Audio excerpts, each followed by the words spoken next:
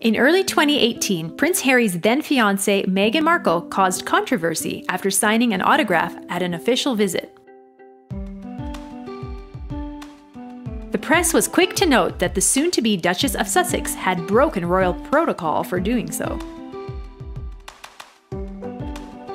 The lucky recipient of the much talked about autograph was 10 year old Caitlin Clark, who was waiting for the couple outside Cardiff Castle, Wales.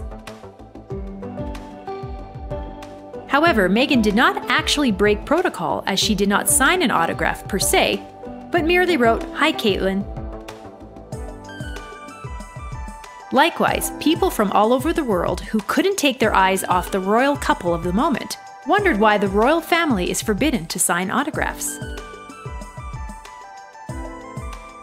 For a little more than a century, the family has chosen to present itself to its subjects in a more accessible way.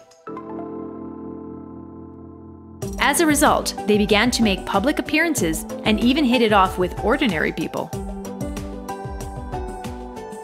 Now, many of the main official activities of the members of the royal family is to attend public events.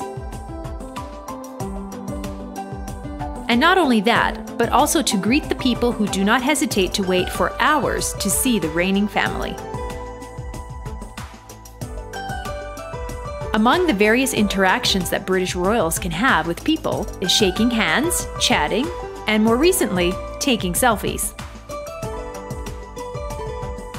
However, signing autographs is strictly forbidden for a good reason. This is to avoid forgeries of their signatures since they are not public figures but political figures.